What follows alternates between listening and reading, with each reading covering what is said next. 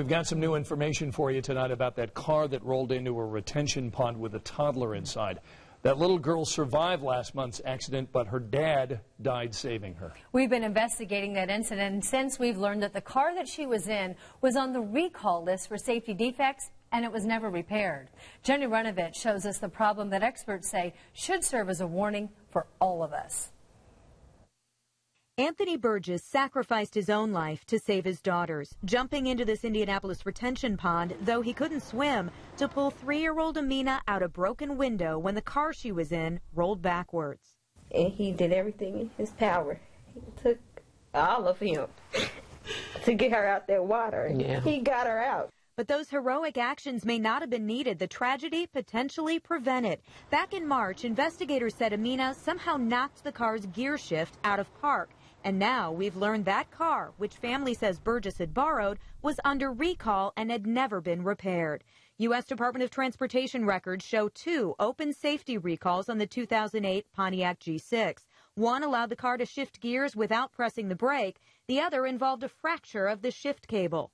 The car will appear to be in park, so you will have the presumption that that car is safe and locked.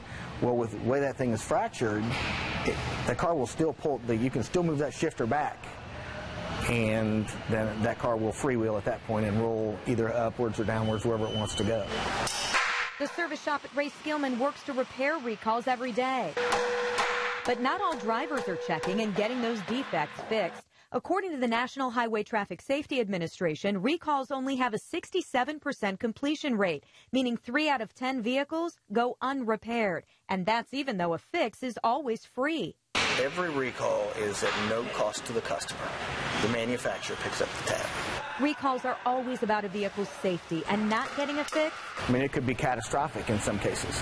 Can lead to tragedy. Oh, it's absolutely horrible. I mean, something that could have been repaired in less than an hour, all of a sudden, this little girl no longer has a father. So here's how to check if your car has a recall. First, find the vehicle identification number. It's right on the windshield. It's also in the driver's side door panel. Then you go online to safercar.gov. Go here and enter that VIN number. It'll let you know if there are any open recalls on your car. It is that simple. We have a link for you on WTHR.com. In this case, by the way, the family does tell me they've contacted an attorney. Scott?